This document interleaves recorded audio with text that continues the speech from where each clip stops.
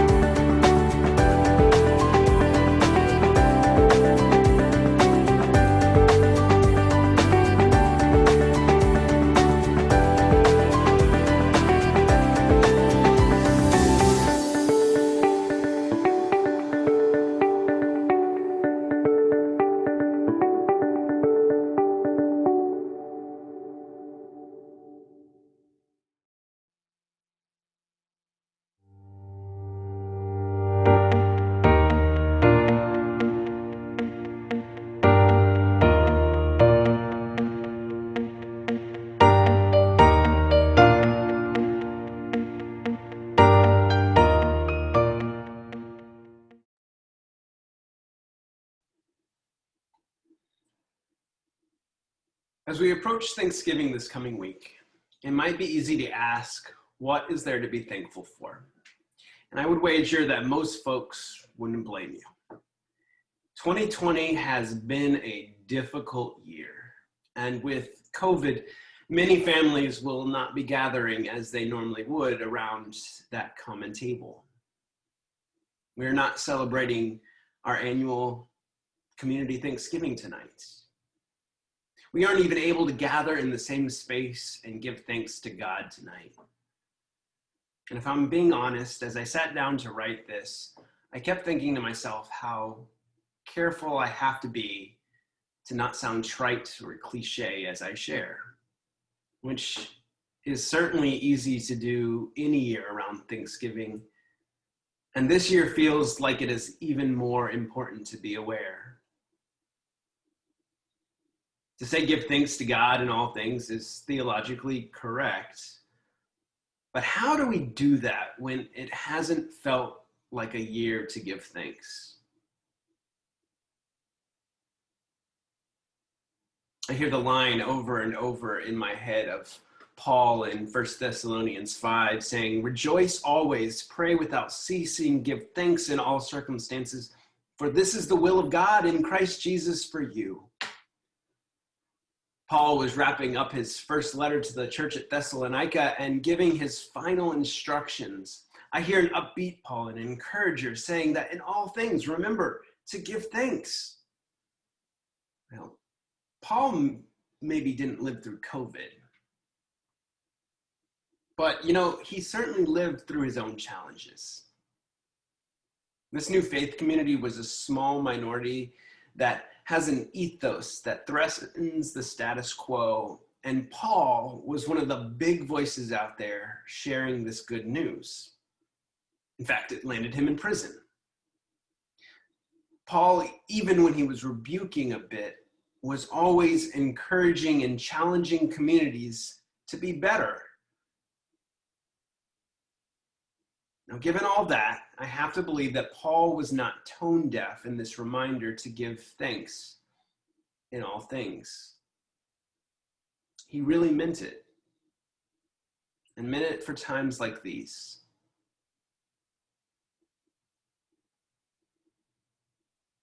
I believe that comes from Paul's belief in God. A firm grasp on the creator of the universe, honed by his upbringing as a Jewish person. First, turning to a prophet that might not be on your list, Habakkuk, who said, Through, Though the fig tree does not blossom, and no fruit is on the vines, though the produce of the olive fails, and the fields yield no food, Though the flock is cut off from the fold, and there is no herd in the stalls, yet I will rejoice in the Lord.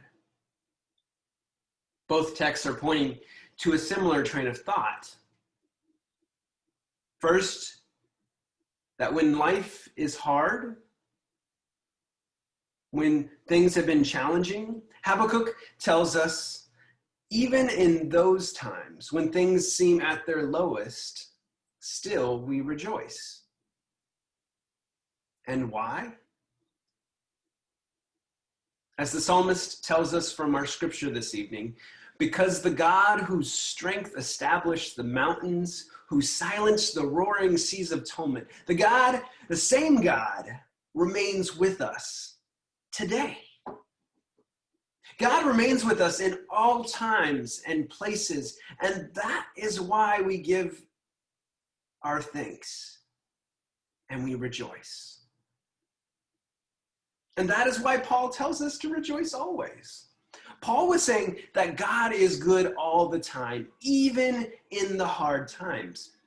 Paul believes that the goodness of God isn't negated because the world is on fire. Throughout history, festivals and holidays have been used to mark having survived, especially when we think about the harvest festivals. These were not celebrations because everything had gone perfectly, but that they had made it through to the end of the season. It was giving thanks for another season, regardless of the successes, giving thanks that even with the world on fire, we can still gather together even if only in a virtual world. And it is a reminder that even in difficult times, we can find things to give thanks for. I'm reminded of a conversation that I was having with one of my closest friends last weekend. We were talking about how in some parts of the country there were rumors of lockdowns coming again, and how in some spaces uh, shelves were beginning to be cleared, especially that one thing that we cannot live without toilet paper. For those of you that don't know, I typically take Mondays as my day off since Sundays are work days. Mondays have also become my day to run errands and specifically go grocery shopping.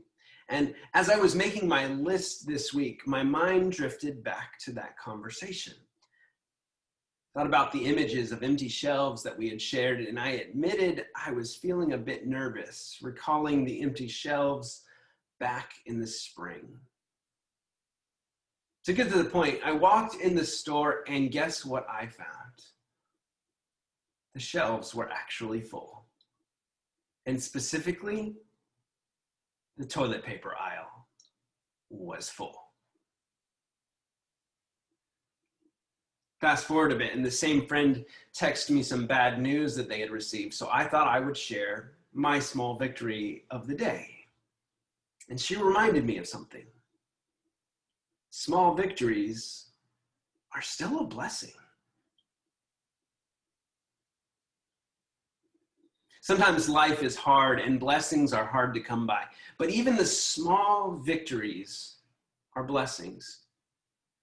When posterity looks back at the year 2020, there is going to be so much to point to about what went wrong or just bad.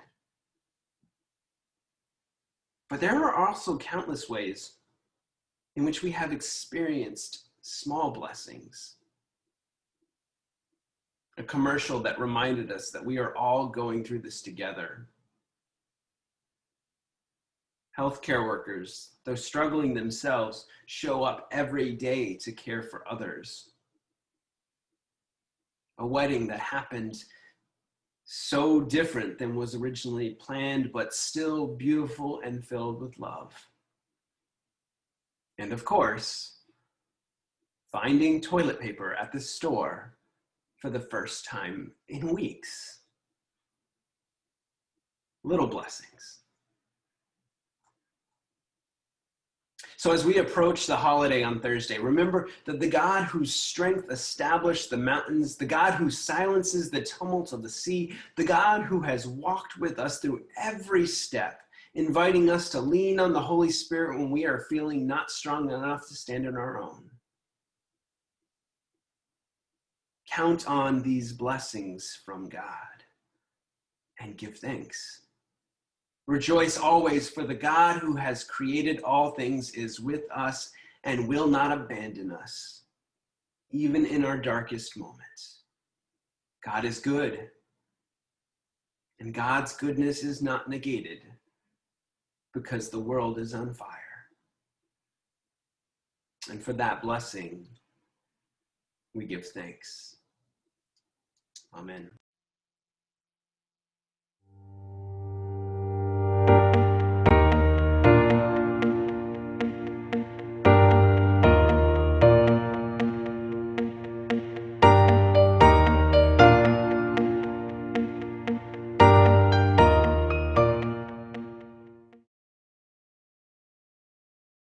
Evening, Marcus Jean here, and I will be offering a prayer this evening. Please pray with me. Oh, gracious God, thank you for life and breath. Thank you for all that we have to be thankful for. Help us to see those things when we get too busy. Help us to slow down to acknowledge your grace in our lives. Help us to count our blessings Grant us fresh vision to see this world through your eyes. Give us grateful hearts despite all that can bring us despair. Let our gratitude be infectious so infectious that it brings someone else in our family, in our community, or even one of our friends to the same gratitude. Remind us of your faithfulness when we forget. Give us the strength to extend grace when we don't want to. We pray for safety during this holiday season and ask that you grant us wisdom during these times. In Jesus' holy name, amen.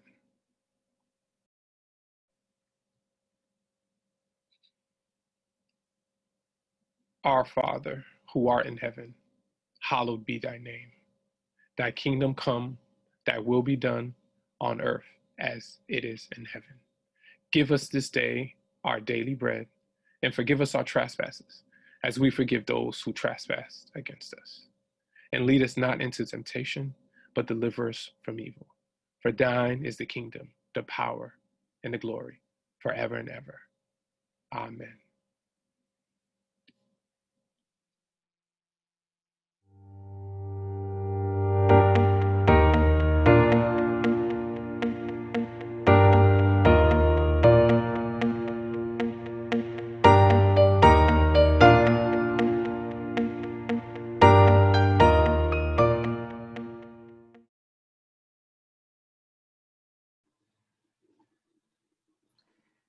May God give you wisdom and revelation. May the eyes of your heart be enlightened. May you know the hope to which God has called you. And may the blessings of the Creator, the Redeemer, and the Sustainer go with you this day and always. Amen.